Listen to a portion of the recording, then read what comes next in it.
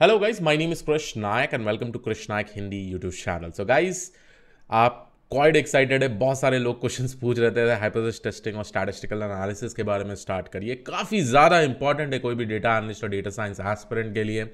अगर आपको एक बिज़नेस यूज़ के सॉल्व करना है specifically related to business decisions तो ये सारे हाइपोथेसिस टेस्टिंग और स्टैटिस्टिकल एनालिसिस हम लोग डेफिनेटली यूज़ करेंगे। अब आने वाले वीडियोस जो हम लोग स्टार्ट सीरीज़ में देखने वाले हैं वो है Z test T test chi square और अनोवा के बारे में, ठीक है? तो ये सारे चीज़ हम लोग डिटेली डिस्कस करेंगे वन बाय वन इस वीडियो में हम लोग कोशिश करेंगे जेड टेस्ट के बारे में समझने के लिए।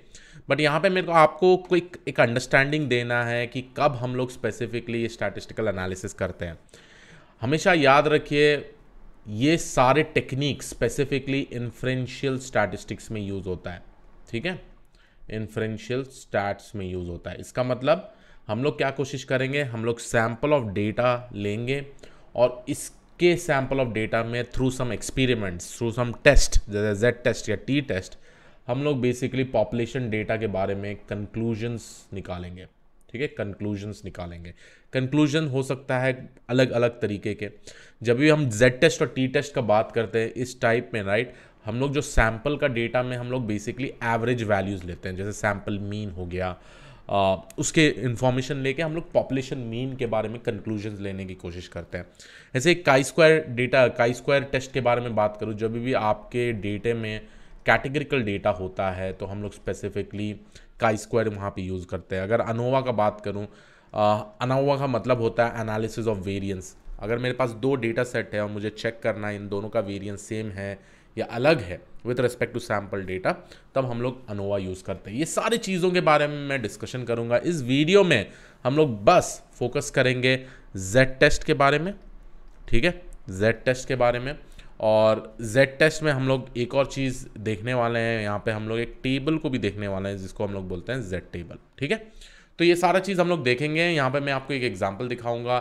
जेड टेस्ट के थ्रू कैसे आप हाइपोथेसिस टेस्टिंग और स्टैटिस्टिकल एनालिसिस कर सकते हैं, वो भी हम लोग देखेंगे। अगर आपको नहीं पता हाइपोथेसिस टेस्टिंग क्या है पी वैल्यू क्या है कॉन्फिडेंस इंटरवल क्या है, मैं ऑलरेडी स्टैट्स प्लेलिस्ट में ये वीडियो बना चुका हूँ। आप डिस्क्रिप्शन में जाइए स्टैट्स प्लेलिस्ट का लिंक वहाँ पर दे दिया गया है। तो यहाँ पर पहली बात, हम लोग आगे जाने से पहले एक सबसे ज़्यादा इंपॉर्टेंट जो इंटरव्यू क्वेश्चन आता है when to use T stats and when to use Z test ठीक है? तो ये ये एक नॉर्मल क्वेश्चन है स्पेसिफिकली जब भी मैं बात करूँ with respect to Z test और टी टेस्ट पहला क्वेश्चन ये आता है, कब हमको टी टेस्ट यूज़ करना है, कब हमको जेड टेस्ट यूज़ करना है? ये बहुत ही इंपॉर्टेंट इंटरव्यू क्वेश्चन है गाइस और इन दोनों के बीच में बहुत सारे लोगों को कन्फ्यूज़न होता ही है। तो ये एक इंटरव्यू क्वेश्चन है, ठीक है? और पहला क्वेश्चन इंटरव्यू का ये होता है कि कब आपको जेड टेस्ट यूज़ करना है और कब आपको टी टेस्ट यूज़ करना है। तो चलिए, यहाँ पे एक ना बहुत ही अच्छी तरीके से मैं छोटे छोटे ब्लॉक्स डायग्राम आपके लिए बना चुका हूँ। तो पहला क्वेश्चन आपके डेटा सेट में जब भी आपको मिलता है do you know the population standard deviation देखिए पॉपुलेशन डेटा होना काफ़ी ज़्यादा डिफ़िकल्ट है बट हम लोगों के पास पॉपुलेशन स्टैंडर्ड डिविएशन दे सकते हैं राइट तो अगर एक प्रॉब्लम स्टेटमेंट में, क्या आपको पॉपुलेशन स्टैंडर्ड डिविएशन पता है? अगर ये पता है यस तो आप जो नेक्स्ट चेक करेंगे is the sample size above thirty अगर ये सैंपल साइज़ जो भी, क्योंकि देखिए at the end of the day statistical analysis में हम लोग क्या करते हैं क्या वाले सैंपल डेटा सैंपल डेटा को लेके ही राइट सैंपल डेटा रहेगा मेरा. उसके बाद सैंपल डेटा के रिलेटेड मैं प्रॉब्लली मीन लूँ या स्टैंडर्ड डिविएशन लूँ. ये सैंपल डेटा से मेरे को ये पॉपुलेशन डेटा का कुछ कंक्लूजन्स निकालना है राइट पॉपुलेशन डेटा का कंक्लूजन्स निकालना है राइट right? कुछ कंक्लूजन्स हो सकता है। कंक्लूजन कैसे टाइप के हो सकते हैं, मैं अभी बताता हूँ। लेट्स कंसिडर कि मेरे पास सैंपल डेटा है एक स्पेसिफिक कॉलेज के स्टूडेंट्स का राइट right? और उनका मैंने हाइट कलेक्ट कर लिया, ठीक है? अब जो एवरेज हाइट है, क्या वो एवरेज हाइट है सब स्टूडेंट्स का पूरे कॉलेज में? ऐसे टाइप के कंक्लूजन्स की बात कर रहा हूँ, ठीक है? तो यहाँ पे कभी भी आपको पूछे should you use T test और जेड टेस्ट तो पहला आपके दिमाग में ये क्वेश्चन आना चाहिए do you know the population standard deviation अगर आंसर यस है तो आप जाके चेक करेंगे if the sample size is above thirty तो अगर आपका sample size is above thirty then you should use the Z test अगर आपका sample size is less than thirty then use the T test ठीक है? अगर आपके पास पॉपुलेशन स्टैंडर्ड डिविएशन है, तभी भी, ठीक है? और दूसरा सिनेरियो ये होता है, जब आपको पॉपुलेशन स्टैंडर्ड डिवीज़न नहीं दिया गया रहता है, आपको सैंपल स्टैंडर्ड डिवीज़न दिया रहता है तो आपको डायरेक्टली टी टेस्ट यूज़ करना है. बट जैसे मैंने बोला, ये एग्ज़ाम्पल में हम लोग सिर्फ़ जेड टेस्ट के बारे में देखेंगे तो चलिए यहाँ पे मैं एक प्रॉब्लम स्टेटमेंट आपके लिए लिख देता हूँ ठीक है? अब प्रॉब्लम स्टेटमेंट ये है यहाँ पे आ, मैं आपके सामने लिख देता हूँ। द एवरेज ठीक है? आप देखते जाइएगा सुनते जाइएगा ये क्वेश्चन मैं पूरा का पूरा क्वेश्चन आपके सामने लिखूँगा। उसके बाद हम ये प्रॉब्लम स्टेटमेंट को लेके हाइपोथेसिस टेस्टिंग और स्टैटिस्टिकल एनालिसिस कैसे करते हैं वो देखेंगे। The average height of all residents in a city is 165 let's say that मैं यहाँ लिख देता हूँ 168 centimetre with a population standard deviation. Population standard deviation जिसको हम लोग ऐसे डिनोट करते हैं. इज़ इक्वल टू 3.9 अब आपको पता है कि पॉपुलेशन स्टैंडर्ड डिविएशन दिया हुआ है। तो आपका जो ये फ़र्स्ट वाला चेक है यस हो गया। ठीक है? तो आप ये वाले सिनेरियो में आए। ठीक है? तो अभी आपको सैंपल साइज़ नहीं पता है तो मैं आप जाके सैंपल साइज़ के बारे में लिखूँगा। ठीक है? तो उसके बाद a doctor believes the doctor believes the mean to be different mean to be different ठीक है यहाँ पर क्वेश्चन क्या था? Average height of the, all the residents in a city is 1 cent, 168 centimeter. With a population standard deviation is equal to 3.9 ठीक है? तो आपको population standard deviation दिया हुआ है। आपको जो रेसिडेंट का मीन है राइट? वो भी इंफॉर्मेशन यहाँ पर स्पेसिफिकली दिया है। ये आपका पॉपुलेशन मीन हो गया right doctor believe that the means to be different तो डॉक्टर बिलीव ये करता है कि भाई ये मीन करेक्ट नहीं हो सकता है ठीक है? ये अजम्पन है डॉक्टर का ठीक है? इसीलिए इसने क्या किया ही measured he measured the height of the height of 36 individuals and found the average found the average तो इसने क्या किया चेक करने के लिए इसने आ, ये डॉक्टर ने 36 इंडिविजुअल्स को सैंपल साइज़ में लिया ठीक है अब आते हैं सेकंड कंडीशन में। अगर सैंपल साइज़ अबव 30 है तो डेफिनेटली हम लोगों को जेड टेस्ट यूज़ करना है। मैं सारे मटेरियल्स दे दूँगा गाइज़ गिटहब में आप देख पाइएगा इसको। बट अंडरस्टैंड करिए, ठीक है? ये लिखिए क्वेश्चन मेरे साथ। उसके बाद ये क्वेश्चन को समझिए। And found the average to be 169.5 centimetre ठीक है? तो ये पूरा का पूरा हो गया। अब मेरा क्वेश्चन फ़र्स्ट ऑफ़ ऑल ये है। और स्टैटिस्टिकल एनालिसिस में हाइपोथेसिस टेस्टिंग में पहली बात तो आपको ये करना पड़ेगा। State null and alternate hypothesis अब इस केस में आपका नल और अल्टरनेट हाइपोथेसिस क्या होता है? क्योंकि हाइपोथेसिस टेस्टिंग में हमको पहली बात तो यही चीज़ ही फाइंड आउट करना पड़ता है। So state the null and the alternate hypothesis be at a 95 percentage confidence interval is there enough evidence to reject the null hypothesis अब यहाँ पे हम लोग ने क्लियर बोला है कि कॉन्फिडेंस इंटरवल क्या है? 95 परसेंट है राइट और आपको पता है सिग्निफिकेंस वैल्यू कॉन्फिडेंस इंटरवल में क्या डिफरेंसेस है, ठीक है? चलिए, कोई नहीं, हम लोग पॉइंट बाय पॉइंट ना सारा क्या क्या वैल्यूज़ हम लोग को मिला है, वो सारी चीज़ों के बारे में डिस्कशन करेंगे और देखेंगे यूजिंग जेड टेस्ट कैसे हम इस प्रॉब्लम को सॉल्व करते हैं। मैं स्टेप बाय स्टेप जाऊँगा guys so please make sure आप फोकस करिएगा इधर. तो पहला क्वेश्चन हमारे पास ये है पॉपुलेशन जो है मेरा एवरेज हाइट का, वो कितना है? तो यहाँ पे मेरा जो पॉपुलेशन मीन है 168 सेंटीमीटर है. स्टैंडर्ड डिविएशन जो है, मेरा यहाँ पे है 3.9 ठीक है? सैंपल साइज़ देखिए a doctor believe the mean to be different ठीक है? वो बिलीव करता है तो इसीलिए उसने क्या किया? 36 सिक्स इंडिविजुअल का सैंपल साइज़ लिया। अब सैंपल साइज़ कैसे आप डिनोट करेगा? N is equal to thirty six मैं यहाँ पे लिख देता हूँ। और आ, उसने ये फाइंड आउट करा जो सैंपल मीन है वो मेरा होगा 169.5 तो X bar is equal to 169.5 centimetres अब देखिए हम लोग ये सारा डेटा है अपने पास। तो हम लोग नल हाइपोथेसिस अल्टरनेट हाइपोथेसिस लिखना स्टार्ट करते हैं। तो पहला स्टेप जो हम लोग डिफाइन करेंगे, वो है अपना नल हाइपोथेसिस तो नल हाइपोथेसिस क्या होगा इधर? नल हाइपोथेसिस में हम लोग बेसिकली चेक क्या कर रहे हैं भाई? The average height of all the students is 168 centimetre और ये डॉक्टर बोल रहा है, ये मीन डिफरेंट हो सकता है। तो हम लोग नल हाइपोथेसिस में, जिसको हम लोग एच ज़ीरो डिनोट करते हैं, यहाँ पे mean is equal to 168 centimetre होगा। ठीक है? जो सेकेंड वाले इसमें है, हम लोग को बेसिकली लिखना है अल्टरनेट हाइपोथेसिस अब अल्टरनेट हाइपोथेसिस में एच वन आएगा और यहाँ पे मैं स्पेसिफिकली लिख दूँगा mean is not equal to one one sixty eight centimetre क्यों?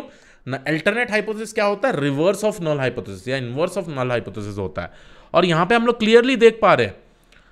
और doctor believe the mean to be different mean to be different मतलब ये mean is not equal to 168 centimetre ये ग्रेटर भी हो सकता है, ये लेस भी हो सकता है। ठीक है? अब जब दोनों सिनेरियो में होता है गाइस हमेशा याद रखिए, जैसे मैं ये बात कर रहा हूँ लेट्स से देखिए मेरा डिस्ट्रीब्यूशन है, ठीक है? और हमको चेक करना है, मेरा जो मीन होगा 168 सेंटीमीटर होगा। अब अल्टरनेट हाइपोथेसिस के हिसाब से क्या होता है कि मेरा जो वैल्यूज़ है, वो राइट right साइड में भी हो सकता है मतलब ग्रेटर देन 168 भी हो सकता है लेस देन 168 भी होता है। इस टाइप के टेस्ट को हम लोग स्पेसिफिकली बोलते हैं टू टेल टेस्ट क्यों टू टेल टेस्ट क्योंकि जो मेरा स्टैटिस्टिकल एनालिसिस के बाद जो आउटपुट आ सकता है, वो ग्रेटर देन वन सिक्सटी भी आ सकता है लेस देन वन भी आ सकता है। और हम लोग ने हाइपोथेसिस टेस्टिंग वाले वीडियो में ये भी देखा था कि यहाँ पे हम लोग एक कॉन्फिडेंस इंटरवल डिफाइन करते हैं। तो थर्ड वाला जो पॉइंट है हमारा सी वाला, यहाँ पे हमको कॉन्फिडेंस इंटरवल कितना है? पॉइंट नाइन फाइव इसका मतलब नाइन्टी फाइव परसेंटेज राइट और इसका जो सिग्निफिकेंस वैल्यू हम लोग ढूंढते हैं, वो है nothing but one minus C I one minus C I मतलब one minus point nine five which is nothing but point zero five ठीक है? अब ये स्पेसिफिकली ये पॉइंट ज़ीरो फाइव बोलता क्या है? Ninety five percentage confidence interval बोलता क्या है? ये बीच का जो इंटरवल है, ये बीच का जो एरिया है, इसको हम लोग बोलेंगे 95 परसेंटेज कॉन्फिडेंस इंटरवल और ये वाला जो एरिया है, इसको डिवाइड कर देंगे हम लोग पॉइंट टू फाइव और पॉइंट टू फाइव मतलब लेट्स से कि ये two ninety percentage confidence interval ये टू पॉइंट फाइव परसेंटेज होगा, ये टू पॉइंट फाइव परसेंटेज होगा। अब हमारे स्टैटिस्टिकल एनालिसिस के बाद जो भी हमारा जेड टेस्ट का वैल्यू आएगा, अगर वो इनके बीच में, इस इस रेंज के बीच में, इस इस कॉन्फिडेंस इंटरवल के बीच में आता है then we accept the null hypothesis और we fail to we fail to reject we we यहाँ पे मैं ऐसा लिख सकता हूँ यहाँ पे we accept the null hypothesis और we fail to reject the null hypothesis ऐसा भी बोल सकते हैं। एक्सेप्ट नहीं बोलना चाहिए। We fail to reject the null hypothesis right और इधर वाला we reject the null hypothesis अगर ये रीजन में आता है we reject the null hypothesis और ये रीजन में भी आया तो we reject the null hypothesis ठीक है? तो आप समझिए ये सारी चीज़। ये टू टेल टेस्ट क्यों है? क्योंकि जो हमारा अल्टरनेट हाइपोथेसिस है डॉक्टर यही बोल रहा है, doctor believe the mean to be different जब डिफरेंट बोलते हैं हम ग्रेटर देन 168 भी हो सकता है, इसका मतलब ये एरिया में भी आ सकता है और ये एरिया में भी आ सकता है। और ये रीजन को हम लोग रिजेक्शन एरिया क्यों बोलते हैं? This is the area which is called as the rejection area क्यों? क्योंकि कॉन्फिडेंस इंटरवल अपना 95 परसेंटेज है राइट तो जो भी ये एरिया है, ये मेरा एक्सेप्टेंस एरिया है। ये मेरा एक्सेप्टेंस एरिया है। ठीक है? ये मेरा एक्सेप्टेंस एरिया है। अब चलिए देखते हैं। ये मेरा हो गया पूरा का पूरा डिसीज़न बाउंड्री तो डिसीज़न बाउंड्री हम लोग कैसे बनाएँगे? जो थर्ड वाला स्टेप होगा मेरा डिसीज़न बाउंड्री और हम लोगों को जेड टेस्ट हो या टी टेस्ट हो, हम लोग specifically first of all decision boundary बनाएँगे। अब डिसीज़न बाउंड्री बनाने के लिए हमको क्या क्या इन्फॉर्मेशन चाहिए? जैसे मैंने बोला था, ये मेरा मीन है 168 मेरे को कॉन्फिडेंस इंटरवल पता है 2.5 2.5 तो ये मेरा 2.5 परसेंट ये मेरा 2.5 परसेंट ठीक है? और ये जो मेरा एरिया है, ये 95 परसेंट ठीक है? अब मैंने ये भी बता दिया है कि ये वाला जो है आपका एरिया इसको हम लोग बोलेंगे एक्सेप्टेंस एरिया एक्सेप्टेंस एरिया और ये जो एरिया है ये मेरा है रिजेक्शन एरिया ठीक है, ये भी रिजेक्शन एरिया ये भी रिजेक्शन एरिया अब हमको जेड टेस्ट के थ्रू ये फाइंड आउट करना है कि ये कौन से एरिया में फॉल कर रहा है, हमारे स्टैटिस्टिकल एनालिसिस के बाद, ठीक है? अब उससे पहले आपको समझने के लिए यहाँ पे हमको ये फाइंड आउट करना पड़ेगा, ये जो रेंज है, ये कॉन्फिडेंस इंटरव का रेंज है, वो कितना आता है range with respect to area under the curve ठीक है? और इसके लिए हम लोग स्पेसिफिकली रेफर करेंगे something called as Z table ठीक है? तो जेड टेबल से हमको इसका आइडिया मिल जाएगा। अब आपको पता है लेट से कि मेरे को ये वाला वैल्यू फाइंड आउट करना है, ये वाला वैल्यू फाइंड आउट करना है तो मैं क्या करूँगा? मेरे को area under this entire curve ढूंढना है, ठीक है? अब area under this entire curve ढूँढने के लिए मैं क्या करूँगा? पूरा का पूरा एरिया वन होगा मेरा, पूरा का पूरा एरिया वन होगा। और अगर मैं इसको निकालूं इसका मतलब मैं किस, कितना वैल्यू निकाल रहा हूँ, ठीक है? This is nothing but this is basically 2.5 percent right sorry 2.5 percent और अगर मेरे को इसको निकालना है तो one minus point zero two five करूँगा राइट right? क्योंकि ये वाला एरिया अगर मेरे को निकालना है, ये 2.5 परसेंट है। 2.5 percent is nothing but point zero two five right 2.5 divide by hundred तो इसका जो वैल्यू होगा, वो होगा 0.9750 ठीक है? तो इसका मतलब ये पूरा area under this curve till this point is 0.9750 और इसका जो वैल्यू हमको ढूंढना है it will be with respect to this curve ठीक है? तो अब मैं क्या करूँगा, जाके मैं मेरा जेड टेस्ट का टेबल जेड टेबल खोलूँगा और देखूँगा भाई, इस particular area under the curve के लिए क्या वैल्यू हमारा इधर आता है। और वो एरिया अंडर द कर्व हम लोग बेसिकली कैलकुलेट कर सकते हैं जेड टेस्ट के टेबल से, ठीक है? तो चलिए जेड टेस्ट का टेबल मैं खोलता हूँ आपके सामने। तो गाइज़ यहाँ पे मैं जाके बस जेड टेबल लिख देता हूँ और ये एक स्पेसिफिक टेबल है जेड टेबल ठीक है? बहुत सारे जेड टेबल आपको यहाँ पे मिल जाएँगे। और जेड टेबल के पॉइंट ऑफ़ व्यू से भी मैं बात करूँ तो दो टाइप के जेड टेबल है, एक नेगेटिव जेड टेबल और एक पॉजिटिव जेड टेबल मैं कोई भी यहाँ पे लिंक खोल देता हूँ तो यहाँ पे मेरे को लिंक मिल रहे हैं राइट अब देखिए, हमको एरिया अंडर द कव देखना है। अब मैं ये सिनेरियो ये सिनेरियो नहीं देख रहा हूँ, मैं राइट हैंड का सिनेरियो देख रहा हूँ, ठीक है? मेरा यहाँ पे area under the curve let's say कि मेरे को ये area under the curve point nine seven five zero है, जो हम लोग ने कैलकुलेट किया था। और मेरे को ये वाला पॉइंट ढूंढना है। तो यूजली जेड टेबल में दो टाइप का टेबल होता है। एक है नेगेटिव जेड स्कोर टेबल एक है पॉजिटिव जेड स्कोर टेबल और नेगेटिव और पॉजिटिव सिमेट्रिकल है, ठीक है? तो अब इस सिनेरियो में मैं देखूँगा एरिया अंडर द कर्व कितना था? Point nine seven five zero ठीक है? Point nine seven five zero कहाँ आता है? देखिए point nine seven five zero ये वाला पॉइंट आ गया right point nine seven five zero अब point nine seven five zero के हिसाब से, ये देखिए, आपको बहुत ही क्लियरली दिख रहा होगा यहाँ पे। Point nine seven five zero इसके हिसाब से वन पॉइंट नाइन इधर से आ रहा है और पॉइंट ज़ीरो सिक्स इधर से आ रहा है। तो वन पॉइंट नाइन सिक्स होगा मेरा वैल्यू ठीक है? तो यहाँ पे जो ये मेरा एरिया अंडर द कर्व है for this value it will be nothing but plus 1.96 अब मेरे को पता है कि नेगेटिव जेड स्कोर से ये वाला पॉइंट इनवर्स होगा तो इसका वैल्यू होगा माइनस तो मैं डिसीज़न बाउंड्री में ये बोल रहा हूँ, अगर मेरा ये जो वैल्यू है Z Z Z Z test का, अगर इसका वैल्यू 1.96 टू 1 प्लस 1.96 के बीच में है then we will accept the null hypothesis otherwise will reject the null hypothesis ठीक है? अगर मेरा जेड टेस्ट का स्टैटिस्टिकल एनालिसिस का value is less than one minus one point nine six मतलब ये एरिया में आ रहा है. If it is greater than plus one point nine six then ये एरिया में आ रहा है. बट अगर ये दोनों एरिया के बीच में आ रहा है then we will accept the null hypothesis otherwise we will reject the null hypothesis ठीक है? बट ये आई होप आपको पता चल गया हम लोगों ने कैसे कैलकुलेट किया।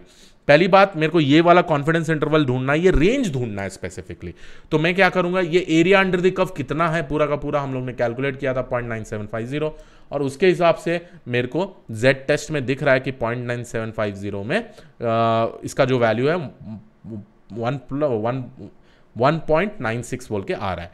सिमिलरली क्या मैं इसके थ्रू भी कैलकुलेट कर सकता हूँ? हाँ इजीली कैलकुलेट कर सकते हैं। ठीक है? अगर मेरे को इसका एरिया अंडर द कर्व ढूंढना है तो मैं क्या करूँगा? वन माइनस ये पूरा का पूरा एरिया अंडर द कर्व ढूंढूँगा, ठीक है? तो इस सिनेरियो में भी आप देखिए, minus one point nine six, अगर मैं देखूँ on minus one point nine six तो it will be nothing but minus point zero two five zero. तो यहाँ पे जो एरिया अंडर द कर्व है, कितना है? Minus point zero two five zero. तो यहाँ पे मेरा आएगा minus one point nine six. तो मेरा डिसीज़न बाउंड्री फिक्स हो गया, मेरा कॉन्फिडेंस इंटरवल फिक्स हो गया। इसका मतलब मैं क्या बोल रहा हूँ? If my Z test values देखिए, यहाँ पे लिख देता हूँ if my Z test values जो भी मैं स्टैटिस्टिकल एनालिसिस के बाद कर रहा हूँ falls between falls between minus one point nine six to plus one point nine six then we fail to reject the null hypothesis we fail to reject the null hypothesis I hope आप लोगों को समझ में आ रहा हो guys ये है हमारा नेक्स्ट स्टेप जिसको हम लोग बोलते हैं with respect to the decision boundary we need to find out the confidence interval अब नेक्स्ट स्टेप जो होगा, जो फाइनल स्टेप होगा, इसको हम लोग बोलते हैं स्टैटिस्टिकल एनालिसिस स्टैटिस्टिकल एनालिसिस अब यहाँ पे क्या अप्लाई करने वाले हैं? यहीं पे हम लोग अप्लाई करने वाले हैं जेड टेस्ट अब जेड टेस्ट यूजली इसका फॉर्मूला कैसा है? X bar minus mean okay divided by population standard deviation divided by root N where N is the sample size तो ये जो हमारा फॉर्मूला है, ये पूरा का पूरा फॉर्मूला है। यूजली जो जेड टेस्ट जो जेड स्टैट्स का फॉर्मूला है जेड स्कोर का फॉर्मूला कुछ ऐसे होता है। X bar minus mean divided by sorry minus mean divide by standard deviation ठीक है, ये रूट एन क्यों कर रहे हैं? देखिए, इस केस में जब भी हम जेड स्कोर फॉर्मूला अप्लाई करते थे, ये होता था एक सैंपल वैल्यूज़ के लिए। अब यहाँ पे the reason I am writing root N यहाँ भी देखिए, हम यहाँ रूट एन लिख सकते हैं। बट यहाँ एन का वैल्यू जो होता है, वो वन होता है। फॉर ईच सैंपल साइज़ हम लोग कैलकुलेट करते हैं जेड स्कोर अब इस केस में हम लोग क्या कर रहे हैं? हम लोग बेसिकली पूरा का पूरा सैंपल साइज़ के लिए कैलकुलेट कर रहे हैं। और जो ये वैल्यू है that is standard deviation divide by root N this is basically called as a standard error ठीक है? तो ये सारे टर्मिनोलॉजीज के बारे में पता लगा लीजिएगा इस स्टैंडर्ड एरर क्या होता है? जेड स्कोर क्या होता है? But it will be something like this ये पूरा का पूरा फॉर्मूला ऐसा है। अब आपको पता है एक्स बार क्या है? एक्स बार आपको पता है कि हमारा वैल्यू जो है मीन का, वो है 169.5 ये मेरा सैंपल मीन है राइट जो 36 सैंपल्स हम लोग ने कंसिडर किया था यहाँ पे 169.5 ठीक है? माइनस जो मीन है, वो बेसिकली मेरा 168 मीन है। ठीक है? डिवाइडेड बाय स्टैंडर्ड डिविएशन कितना है? 3.9 डिवाइडेड बाय जो मेरा एन का वैल्यू है 36 है। तो यहाँ पे जब मैं कैलकुलेट कर रहा हूँ, ये मेरा वैल्यू आएगा 2.39 अब क्या हमको, देखिए after calculating you are getting 2.39 तो फाइनली हम लोग क्या करते हैं? हम लोग यहाँ पे कंक्लूजन्स निकालते हैं। कंक्लूजन्स ठीक है? अब कंक्लूजन में हम लोग ये बोलेंगे if the Z test is less than minus 1.96 or greater than plus 1.96 इसमें हम लोग क्या करेंगे? हम लोग बेसिकली रिजेक्ट कर देंगे द नल हाइपोथेसिस अब इस केस में आपको पता है आपका जेड टेस्ट वैल्यू कितना है? 2.31 which is greater than 1.96 right तो हम लोग यहाँ पे क्या करते हैं? हम लोग यहाँ पे मैं लिख दूँगा we Since now since 2.31 is greater than 1.96, we reject the null hypothesis. null hypothesis. ना अब अब आपको यहाँ पे मतलब समझना है कि अगर हम रिजेक्ट कर रहे हैं तो इसका मतलब क्या है डॉक्टर सही है राइट डॉक्टर का सोचना अजम्पन लेना बहुत ही सही है क्योंकि डॉक्टर बिलीव कर रहा है the mean is actually different है ना क्योंकि डॉक्टर को जो सैंपल साइज़ मिला है वहाँ पे हाइट डिफरेंट दिखा रहा है इसका मतलब जो पॉपुलेशन है उस स्पेसिफिक सिटी का, उसका हाइट कभी हमेशा मतलब डिफरेंट है, ठीक है? और ये जो जो डेटा कलेक्ट हुआ है, ये प्रॉब्ली आउटडेटेड डेटा है। अगर मैं बात करूँ, यहाँ पे मेरा जो वैल्यू है ना, ये प्लस आया प्लस 2.31 इसका मतलब हम लोग ये भी कंसिडर कर सकते हैं, जो ये 36 इंडिविजुअल्स का हाइट निकाला है ना, वो ज़्यादा निकाला हुआ है, ठीक है? तो प्रॉबली जो हाइट का डिफरेंस है, वो आपको दिखेगा कि आपका जो अजम्पन है स्पेसिफिकली जो सैंपल का, वो हाइट बढ़ के आया हुआ है। So that basically means we are following in this rejection area ठीक है? तो इस तरीके से आप बेसिकली जेड टेस्ट का स्टैटिस्टिकल एनालिसिस कर सकते हैं और आप कितनी इजीली कंक्लूजन कर सकते हैं राइट मैं फिर से रिवाइज करता हूँ गाइस क्या क्या चीज़ हम लोग करना है। पहली बात तो आप डेटा देखिए। पॉपुलेशन मीन दिया है क्या? स्टैंडर्ड डिविजन दिया है क्या? ये जेड टेस्ट है या टी टेस्ट है? सैंपल साइज़ 36 है। आपका एक्स बार ये है। तो नल हाइपोथेसिस में आप पहली बात क्या करिएगा। आप अपना नल हाइपोथेसिस लिखिएगा। यहाँ पर मीन इज़ इक्वल टू 168 है। डॉक्टर अज्यूम क्या कर रहा है? It should not be equal to 168 तो ये आपका अल्टरनेट हाइपोथेसिस होगा। मैं टू टिल टेस्ट क्यों बोल रहा हूँ? क्योंकि आपका हाइट ग्रेटर देन 168 भी आ सकता है लेस देन 168 भी आ सकता है। और कॉन्फिडेंस इंटरवल के बारे में बात की हम लोग सिग्निफिकेंस वैल्यू के बारे में बात किए और डिसीज़न बाउंड्री कैसे हम लोग जेड टेबल को यूज़ करके ये कॉन्फिडेंस इंटरवल फाइंड आउट कर सकते हैं। उसके बाद मेरा जेड टेस्ट का स्टैटिस्टिकल एनालिसिस हम लोग ने किया। हमको वैल्यू मिला, उसके बाद हम लोग ने कंपेयर किया। तो ये सारा का सारा चीज़ हम लोग स्पेसिफिकली समझा चुके हैं। और आई होप आप लोगों को समझ में आ गया हो। तो गाइज़ आई होप आपको वीडियो पसंद आया हो। मैं एक काम करता हूँ, यहाँ आपके लिए ना एक एग्ज़ाम्पल भी दे देता हूँ सो दैट आप प्रैक्टिस कर पाइएगा।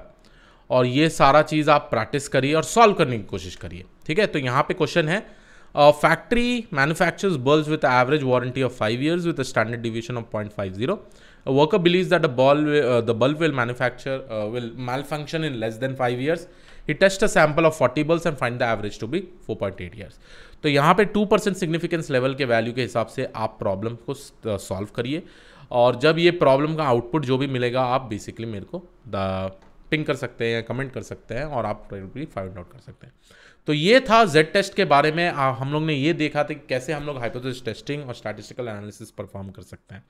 तो yes this was it from my side I hope you like this particular video like करिए शेयर करिए शेयर करिए सारे फ्रेंड्सों को सारे अपने दोस्तों को क्योंकि मैं अब ये सारे वीडियोज़ अपलोड करने वाला हूँ। अगले वीडियो में हम लोग देखेंगे टी टेस्ट के बारे में। Till then have a great day bye take care have a great day thank you